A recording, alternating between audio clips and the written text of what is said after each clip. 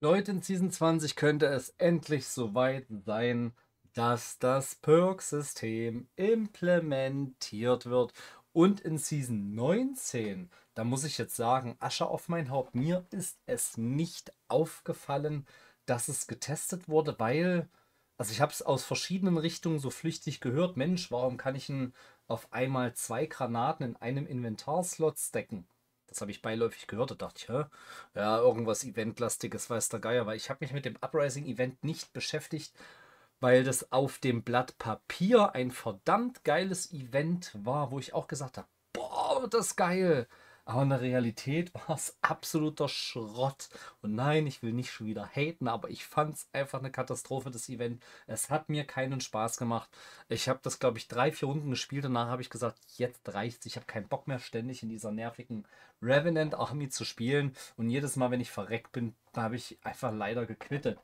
Nicht Thema des Videos, aber das war wirklich eine absolute Vollkatastrophe des Events. der Modus war einfach langweilig. Und genau deswegen habe ich es nicht gemerkt, dass dort insgeheim kann man nicht sagen, aber wer sich genauer damit beschäftigt hat, hat es gemerkt. Das Perk-System wurde dort getestet und geht davon aus, dass es ein Spieltest für die vollwertige Implementierung ins Spiel sein wird. Ob wir jetzt davon ausgehen sollten, dass wenn das System kommt, ob das nur für Public Games ist oder beziehungsweise in Ranked geschlossen ist, Fürs Event war es so, dass es geschlossen ist, weil es war nun mal Event, ein eventlastiges System.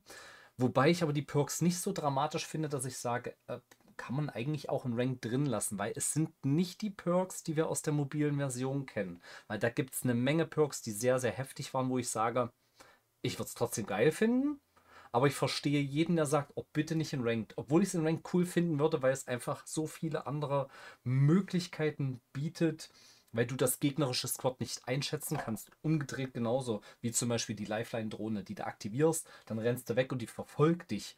Dann kannst du halt weiter fighten, kannst irgendwie um die Ecke gucken kannst oder kannst mit in den Gunfight reinheizen, während dich die Drohne weiter heilt und du dich bewegen kannst. Solche Perks werden es wohl nicht werden, wobei ich mir vorstellen könnte, dass es mehr über Zeit werden, vielleicht auch ähm, exklusiv für die Legenden. Die Perks, von denen ich jetzt aber spreche, die konnten alle Legenden irgendwie wählen. Wie genau es funktioniert hat, wie gesagt, ich weiß es nicht. Ich blende es euch einfach mal ein. Für mich ist das nicht das Nonplusultra an Perks, wie ich es mir wünschen würde. Deswegen ist es okay, nicht mehr, nicht weniger. Es war wohl so, dass du, ich glaube, über den Tracker ähm, verurteilt mich jetzt nicht, weil, wenn ich nicht weiß, wie es genau ablief, aber es war so, dass du in der ersten Woche bestimmte Perks freischalten konntest.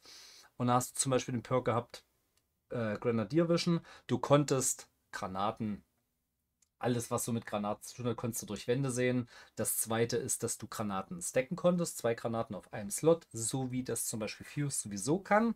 Und äh, in der zweiten Woche konntest du Heil-Items stacken oder eben durch Wände sehen und so weiter und so fort. Und so ging das immer weiter oder musstest irgendwelche Aktionen machen, dass deine taktische sofort aufgeladen wurde, deine ultimative, was da, genau, ich glaube, da war ein Finisher mit drin und oder wenn einer aus deinem Squad verreckt ist, ich habe keine Ahnung genau, wie es funktioniert ist. Ich bin auch ganz ehrlich, es hat mich zu dem Zeitpunkt nicht interessiert, weil ich es einfach ein enttäuschendes Event fand und dann einfach keinen Bock mehr drauf hatte.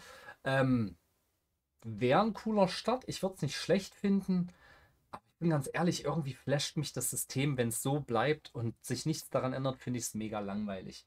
Ich hoffe tatsächlich auf ein Perk-System, was legendenexklusive Sachen sind. Vielleicht das zusätzlich, dass man sagt, komm, zwei Granaten stapeln.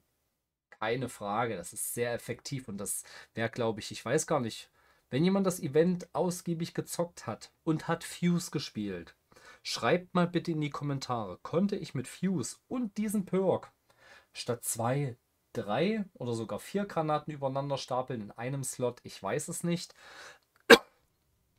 Aber ich muss sagen, mit äh, exklusiven Legenden-Perks und dieser Mischung wäre das geil. Zum Beispiel, also auch die, die Heil-Items stacken, äh, mehr stacken übereinander ist wie der goldene Rucksack zum Beispiel. Es ist nicht schlecht, aber ich sag mir, könnte krasser sein. Aber vielleicht wünsche ich mir da einfach zu viel Veränderung, weil ich die mobile Version, da bin ich ganz ehrlich, ich weiß, viele von euch haben die nicht gezockt.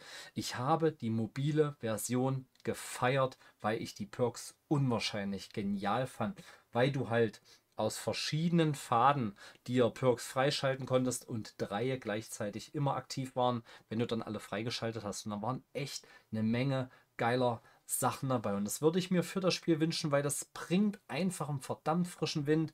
Ich weiß, es gibt viele draußen von euch, die sagen, nee, bitte nicht. Legenden-exklusiv, so krasse Perks wie in der mobilen Version, da bin ich dann auch bei jedem, der sagt, bitte nicht in Ranked. Da bin ich völlig dabei, das wäre auch völlig okay. Aber das hier, das ist nicht so heftig, dass ich sage, komm, das kann man in Ranked auch mit reinbringen. Gerüchte sagen, in Season 20 ist es soweit, wird es kommen. In Season 19 wurde es getestet, ohne dass ich es gerafft habe.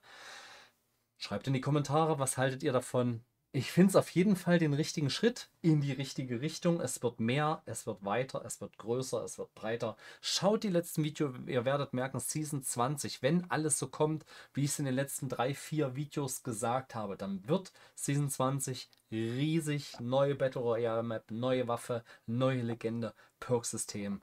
Vielleicht sogar zwei oder ein neues Survival-Item. Vielleicht sogar ein zweiter Survival-Slot. Weiß der Geier, was es könnte. Echt eine richtig, richtig fette ähm, Season auf dem Blatt Papier sein. Deswegen sage ich auf dem, ich sage bewusst auf dem Blatt Papier, würde das alles richtig geil klingen. Die Frage ist, wie setzt Respawn um? Das ist das, was ich jetzt zum Anfang zu dem Uprising-Event gesagt habe. Auf dem Blatt Papier habe ich das absolut gefeiert, das Event, aber in der Realität war es einfach Müll. Muss ich einfach mal so sagen. Gerne auch in die Kommentare, wie ihr das Event fandet. Das war's von mir. Vergesst nicht die letzten Videos, würde ich mich auf jeden Fall drüber freuen. Ich wünsche euch noch einen schönen Tag. Haut rein. Ciao.